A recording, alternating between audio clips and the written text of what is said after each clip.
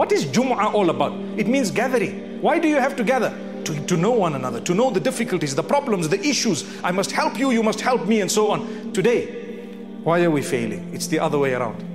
I see you, I start thinking, hmm, too much money, huh? And I see someone, you don't know it's a borrowed vehicle, it's this, brother, you want to live, no one else is allowed to live. See someone say, mm, look at the way he's walking, he's arrogant, this guy, man. Why? What negative thoughts are they? You see someone, what is he doing in the masjid? Did he lose his path here? That's the type of statements people utter sometimes in their minds. Brother, purify your mind and your heart. Look at others, be happy.